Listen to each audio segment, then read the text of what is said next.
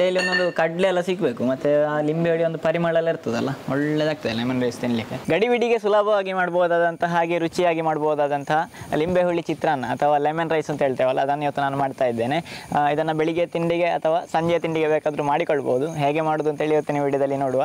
Friends ನಾನು Sudarshan Bhat Bedradi welcome back to Bhat and Bhat channel lemon rice ಮಾಡಲಿಕ್ಕೆ ನಾವು ಮೊದಲಿಗೆ ಉದುರು ಉದುರಾದಂತಹ ಅನ್ನ ಮಾಡಬೇಕು. ಅನ್ನ ಮಾಡಲಿಕ್ಕೆ ಅಂತೇಳಿ ನಾನೊಂದು ಪಾತ್ರ ತಗೊಂಡಿದ್ದೆ ನೋಡಿ. ಇದೊಂದು ಸ್ವಲ್ಪ ಸ್ಪೆಷಲ್ ಟೈಪ್ ಆಫ್ ಪಾತ್ರ ಎಂತ ಅಂತ ಹೇಳಿದರೆ, ಇದು ತುಂಬ ವಿಷಯಕ್ಕೆ ಆಗ್ತದೆ, ಅನ್ನ ಮಾಡಲಿಕ್ಕೆ ಆಗ್ತದೆ.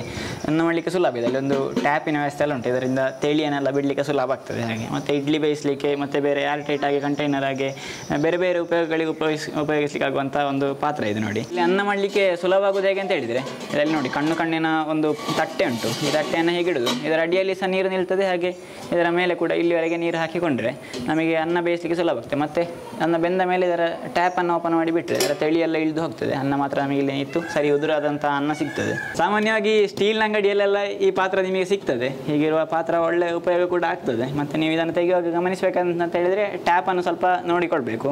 ನೀರೆಲ್ಲ ಹಾಕಿ ಆಗುವಾಗ ಲೀಕ್ ಎಲ್ಲ ಉಂಟಾ ಅಂತೇಳಿ ನೋಡಿಕೊಂಡ್ರೆ ಈ ಪಾತ್ರವನ್ನು ತೆಗೆದುಕೊಳ್ಬೋದು. ಒಳ್ಳೆ ಉಪಯೋಗ ಆಗ್ತದೆ. ಮೊದಲಿಗೆ ಈಗ ಅನ್ನ ಬೇಯಿಸಲಿಕ್ಕೆ ನಾನು ನೀರನ್ನು ಹಾಕಿಕೊಳ್ತೇನೆ. ಫಸ್ಟಿಗೆ ನೀರು ಬಿಸಿ ಆಗಲಿ, ಮತ್ತೆ ಅಕ್ಕಿ ಹಾಕುವ. ನೀರು ಸ್ವಲ್ಪ ಜಾಸ್ತಿ ಆದರೂ ತೊಂದರೆ ಅಂತ ಇಲ್ಲ. ನಮಗೆ ಚಳಿ ಬಿಡಲಿಕ್ಕೆ ಸುಲಭದಲ್ಲಿ ಆಗ್ತದೆ. ಮತ್ತು ಜಾಸ್ತಿ ನೀರಿದ್ರೆ ಒಳ್ಳೆ ಉದುರು ಉದುರಾದಂತಹ ಅನ್ನ ಸಿಗ್ತದೆ. ನಾನಿಲ್ಲಿ ಎರಡು ಕಪ್ಪಿನಷ್ಟು ಅಕ್ಕಿ ತಗೊಂಡಿದ್ದೇನೆ ಇದೀಗ ನೀರು ಬಿಸಿಯಾಗಿ ಹೋಗಿ ಇದನ್ನು ತೊಳೆದುಕೊಳ್ಬೇಕು. ಎರಡು ಕಪ್ ಅಂತ ಹೇಳಿದರೆ ಒಂದು ಇನ್ನೂರು ಗ್ರಾಮ್ ಅಷ್ಟು ಆದಿತ್ತು ಇದನ್ನೀಗ ಚಂದಕ್ಕೆ ಒಂದು ಮೂರು ಸಲ ತೊಳೆದು ತಗೊಂಡು ಬರ್ತೇನೆ.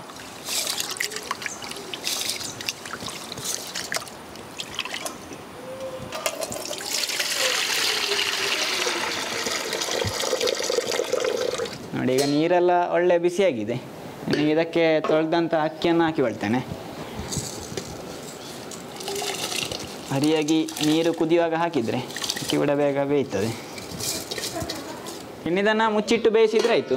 ಇದನ್ನು ಮುಚ್ಚಳ ಹೀಗೆ ನೋಡಿ. ಸ್ವಲ್ಪ ತಿರುಗಿಸಿಕೊಂಡ್ರೆ ಹೀಗೆ ಹಾಕಲಿಕ್ಕೆ ಬರ್ತದೆ. ಲೆಮನ್ ರೈಸಿಗೆ ನಮಗೆ ಕೆಲವೆಲ್ಲ ಬಗೆಗಳು ಬೇಕಾಗ್ತದೆ. ನಾನಿಲ್ಲಿ ಎರಡು ಲಿಂಬೆಹಳ್ಳಿ ತಗೊಂಡಿದ್ದೇನೆ ಇದು ಇದರ ರಸ ತೆಗೆದು ರೈಸಿಗೆ ಹಾಕಿಕೊಳ್ಳುವಂಥದ್ದು. ಹಾಗೆ ಎರಡು ಹಸಿಮೆಣಸು, ಮತ್ತು ಒಂದು ಇಂಚಿನ ಒಂದು ತುಂಡು ಶುಂಠಿ ತಗೊಂಡಿದ್ದೇನೆ ಮತ್ತೊಂದು ಸ್ವಲ್ಪ ಕೊತ್ತಂಬರಿ ಸೊಪ್ಪು, ಇದನ್ನು ಸಣ್ಣಕ್ಕೆ ಕೊಚ್ಚಿ ಪ್ಲಾಸ್ಟಿಕ್ ಹಾಕ್ಲಿಕ್ಕೆ ಇರುವಂಥದ್ದು. ಹಾಗೆ ಎರಡು ನೀರುಳ್ಳಿ ತಗೊಂಡಿದ್ದೇನೆ ನೀರುಳ್ಳಿಯನ್ನು ಚಿಕ್ಕಕ್ಕೆ ಕೊಚ್ಚಿಕೊಳ್ತೇನೆ. ಮತ್ತು ನೀರುಳ್ಳಿ ಹಾಕದೆ ಕೂಡ ಲೆಮನ್ ರೈಸ್ ಮಾಡಿಕೊಳ್ಬೋದು. ನೀರುಳ್ಳಿ ಇದ್ದರೆ ಅದರದ್ದೊಂದು ಟೇಸ್ಟ್ ಬೇರೆ ಇರ್ತದೆ. ನೋಡಿ, ಹೀಗೆ ಮಾಡಿ ಚಿಕ್ಕಕ್ಕೆ ಕೊಚ್ಚಿಕೊಳ್ಳೋ ಇದನ್ನು.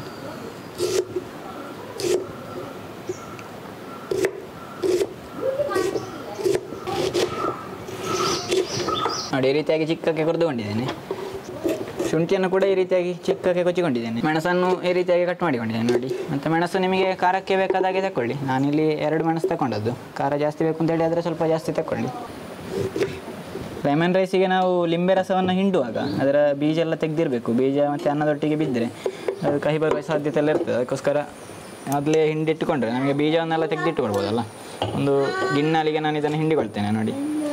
ಬೀಜವನ್ನು ಇನ್ನು ಹಾಕಿಕೊಳ್ಬೋದು ಸರಿಯಾಗಿ ಹಿಂಡಿದರ ರಸ ಎಲ್ಲ ಬರಲಿ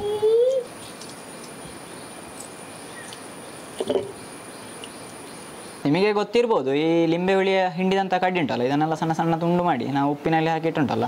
ನಮಗೆ ಬಾಯಿ ರುಚಿ ಎಲ್ಲ ಇಲ್ಲ, ಇಲ್ಲದಿರುವಾಗ, ಜ್ವರ ಎಲ್ಲ ಬಂದಿರುವಾಗ ಇದನ್ನು ತಿಂದುಂಟಲ್ಲ ಬಾಯಿ ರುಚಿ ಎಲ್ಲ ಸಿಗ್ತದೆ. ನೋಡಿ, ಈಗ ಅನ್ನ ಒಳ್ಳೆ ಬೆಂದಿದೆ. ಈ ರೀತಿಯಾಗಿ ಉದುರುದುರಾಗಿ ಉಂಟು ನೋಡಿ. ಇನ್ನೀಗ ಇದರ ತಿಳಿಯನ್ನು ಬಿಡುವ.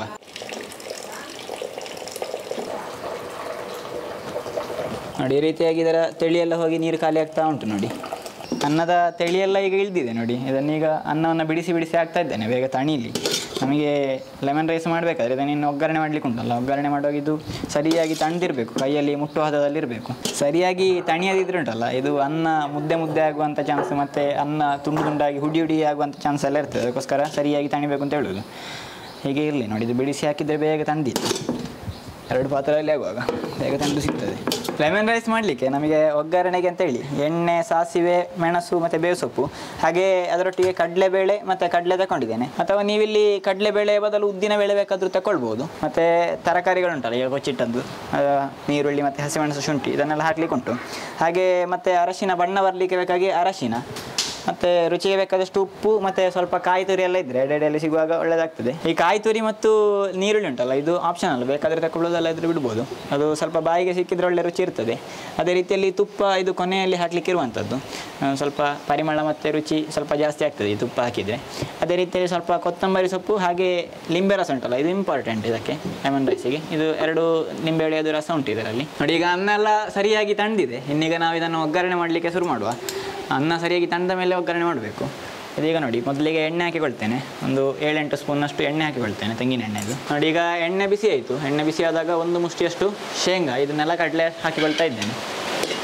ಕಡಲೆ ಹುರಿದು ಒಳ್ಳೆ ಕರ್ಕೂರೆಲ್ಲ ಆಗಬೇಕು. ಮತ್ತು ಅದರ ಸಿಪ್ಪೆ ಎಲ್ಲ ಬಿಡುವಲ್ಲಿವರೆಗೆ ಸಣ್ಣ ಬೆಂಕಿಯಲ್ಲಿ ಇಟ್ಕೊಂಡು ಹುರಿಬೇಕು. ಹಾಗೆ ಆದರೆ ಒಳ್ಳೆ ರುಚಿಯಾಗಿರ್ತದೆ. ಈ ಚಿತ್ರಾನ್ನದ ಒಟ್ಟಿಗೆಲ್ಲ ನಾವು ಕಡಲೆ ಎಲ್ಲ ಹಾಕ್ತೇವೆ ಹಾಗೆ ಅದರ ಡೈಲಿ ಒಳ್ಳೆ ರುಚಿ ಆಗ್ತದೆ. ಈಗ ನೋಡಿ, ಕಡಲೆ ಎಲ್ಲ ಸಿಡಿಲಿಕ್ಕೆ ಶುರು ಆಯಿತು ನೋಡಿ, ಈ ರೀತಿಯಾಗಿ ಸಿಡಿತಾ ಉಂಟು. ನೋಡಿ ಈಗ ಹಾಕಿ ಹಾಕಿಕೊಳ್ತೇನೆ ನೀವು ಕಡಲೆಬೇಳೆ ಎಲ್ಲ ಇದ್ದರೆ ಉದ್ದಿನಬೇಳೆ ಬೇಕಾದರೂ ತಗೊಳ್ಬೋದು ಅದೀಗ ಒಂದು ಚಮಚ ಕಡಲೆಬೇಳೆ ತಗೊಂಡಿದ್ದೇನೆ ಕಡಲೆಬೇಳೆ ಸ್ವಲ್ಪ ಹುರಿದಾದ ಕೂಡಲೇ ಸಾಸಿವೆ ಮತ್ತು ಮೆಣಸು, ಮೂರು ತುಂಡು ಮಾಡಿದ ಮೆಣಸನ್ನು ಹಾಕಿಕೊಳ್ತಾ ಇದ್ದೇನೆ. ಒಂದು ಮೆಣಸು ಇತ್ತದಲ್ಲಿ ಒಂದು ಚಮಚ ಸಾಸಿವೆ. ನೋಡಿ, ಈಗ ಸಾಸಿವೆ ಎಲ್ಲ ಸಿಡಿಲಿಕ್ಕೆ ಶುರುವಾಯಿತು. ಇನ್ನೀಗ ಬೇವು ಸೊಪ್ಪು ಹಾಕಿ ಹಾಕಿಕೊಳ್ತೇನೆ ಕರಿಬೇವಿನ ಸೊಪ್ಪು ಹಾಕಿ ಹಾಕಿಕೊಳ್ತೇನೆ ಇನ್ನೀಗ ಕೊಚ್ಚಿಟ್ಟಂಥ ನೀರುಳ್ಳಿ ಹಸಿಮೆಣಸು ಶುಂಠಿ ಉಂಟಲ್ಲ, ಇದನ್ನು ಮೂರನ್ನು ಕೂಡ ಒಟ್ಟಿಗೆ ಹಾಕಿಕೊಳ್ತೇನೆ ಈಗ ಈಗ ರುಚಿಗೆ ಬೇಕಾದಷ್ಟು ಉಪ್ಪು, ಮತ್ತು ಸ್ವಲ್ಪ ಅರಶಿನ ಹೊಡಿ ಕೂಡ ಹಾಕಿಕೊಳ್ತಾ ಇದ್ದೇನೆ. ಒಂದು ಮುಕ್ಕಾಲು ಚಮಚದಷ್ಟು ಅರಶಿನ ಹೊಡಿ ಉಂಟು ಇದರಲ್ಲಿ. ಇನ್ನೀಗ ಸರಿಯಾಗಿ ಮಗುಚಿಕೊಳ್ಳುವ. ನೋಡಿ, ಸ್ವಲ್ಪ ನೀರುಳ್ಳಿ ಎಲ್ಲ ಹುರಿದು ಬಾಡಿ ಆಗುವಾಗ ಒಂದು ಅರ್ಧ ಕಪ್ಪಿನಷ್ಟು ಕಾಯಿ ತುರಿ ಕೂಡ ಹಾಕಿಕೊಳ್ತೇನೆ ಬೇಕಾದರೆ ಹಾಕಿಕೊಳ್ಬೋದು ಅದಾದರೆ ಆಪ್ಷನ್ ಇದು ಕಾಯಿ ತುರಿ ಕೂಡ ಸ್ವಲ್ಪ ಬಿಸಿ ಆಗಲಿ, ಮತ್ತು ನಾವು ಅನ್ನವನ್ನು ಸ್ವಲ್ಪ ಉದುರುದರಾಗಿ ಸ್ವಲ್ಪ ಸ್ವಲ್ಪ ಹಾಕಿ ಸರಿಯಾಗಿ ಮಗುಚಿಕೊಂಡ್ರೆ ಆಯಿತು. ನೋಡಿ, ಈಗ ನೀರುಳ್ಳಿ ಕಾಯಿ ಎಲ್ಲ ಹಾಕಿದ ಮೇಲೆ ಸರಿಯಾಗಿ ಮಗುಚಿ ಆಯಿತು. ಒಳ್ಳೆ ಬಿಸಿ ಆಯಿತು ಕೂಡ ಕಾಯಿ ತುರಿ ಎಲ್ಲ. ಇನ್ನೀಗ ಸರಿಯಾಗಿ ತಂದಿರುವಂಥ ಅನ್ನವನ್ನು ಇದಕ್ಕೆ ಸ್ವಲ್ಪ ಸ್ವಲ್ಪ ಹಾಕಿ ಮಗುಚಿಕೊಳ್ತೇನೆ ಅನ್ನವನ್ನು ಸೇರಿಸುವಾಗ ಸಣ್ಣ ಉರಿ ಮಾಡಿಕೊಂಡು ಸೇರಿಸಿಕೊಂಡ್ರೆ ಆಯಿತು. ಸರಿಯಾಗಿ ಬಿಡಿಸಿ ಬಿಡಿಸಿ ಹಾಕಿಕೊಂಡ್ರೆ ಆಯಿತು. ನೋಡಿ, ಹೀಗೆ ಸ್ವಲ್ಪ ಸ್ವಲ್ಪವೇ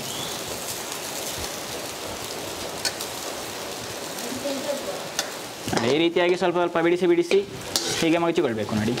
ಜಾಸ್ತಿ ಒತ್ತಿದ್ರೆ ಅನ್ನ ಮುದ್ದೆ ಆಗ್ತದೆ ಮತ್ತು ಹುಡಿ ಆಗ್ತದೆ. ಅದಕ್ಕೋಸ್ಕರ ನಿಧಾನವಾಗಿ, ಮೆದುವಾಗಿ ಹೀಗೆ ಮಗಚಿಕೊಳ್ಬೇಕು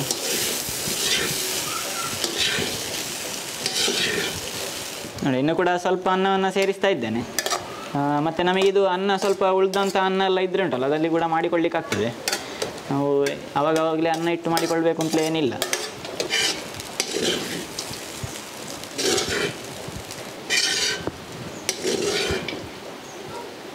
ನೋಡಿ ಸರಿಯಾಗಿ ಮಗುಚಿ ಆದಮೇಲೆ ಕೊನೆಯಲ್ಲಿ ಒಂದು ಎರಡು ಚಮಚದಷ್ಟು ತುಪ್ಪವನ್ನು ಹಾಕಿಕೊಳ್ತಾ ಇದ್ದೇನೆ.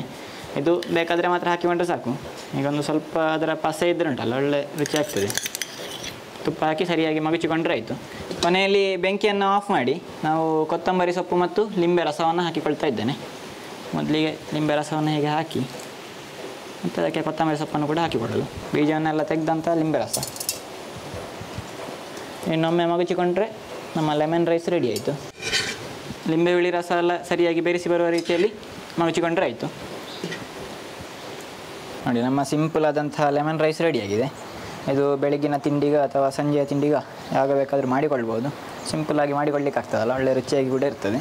ಡೇ ಡೈಲಿ ಒಂದೊಂದು ಕಡಲೆ ಎಲ್ಲ ಸಿಗಬೇಕು ಮತ್ತು ಆ ಲಿಂಬೆ ಹುಳಿ ಒಂದು ಪರಿಮಳ ಎಲ್ಲ ಇರ್ತದಲ್ಲ ಒಳ್ಳೆದಾಗ್ತದೆ ಲೆಮನ್ ರೈಸ್ ತಿನ್ನಲಿಕ್ಕೆ ಉದುರು ಉದುರಾದಂತಹ ಅನ್ನವನ್ನು ಮಾಡಿಕೊಂಡ್ರೆ ನಮಗೆ ರುಚಿಯಾದಂತಹ ಲೆಮನ್ ರೈಸನ್ನು ಮಾಡಿಕೊಳ್ಬೋದು. ಅದೇ ರೀತಿಯಲ್ಲಿ ಏನಾದರೂ ನಾವು ಮಾಡಿದ ಅನ್ನ ಉಳಿದಿದೆ ಅಂತ ಹೇಳಿದ್ರು ಕೂಡ ನಮಗೆ ಲೆಮನ್ ರೈಸನ್ನು ತಕ್ಷಣಕ್ಕೆ ಮಾಡಿಕೊಳ್ಳಿಕ್ಕೆ ಆಗ್ತದೆ. ಹಾಗೆ ಇದನ್ನು ನೀವು ಕೂಡ ಒಮ್ಮೆ ಟ್ರೈ ಮಾಡಿ ನೋಡಿ ಫ್ರೆಂಡ್ಸ್ ಮತ್ತು ನಿಮ್ಮ ಅಭಿಪ್ರಾಯವನ್ನು ಕಮೆಂಟ್ ಮೂಲಕ ತಿಳಿಸಲಿಕ್ಕೆ ಮರಿಬೇಡಿ. ಮುಂದಿನ ವಿಡಿಯೋದಲ್ಲಿ ಸಿಗ್ತೇನೆ. ನಮಸ್ಕಾರ.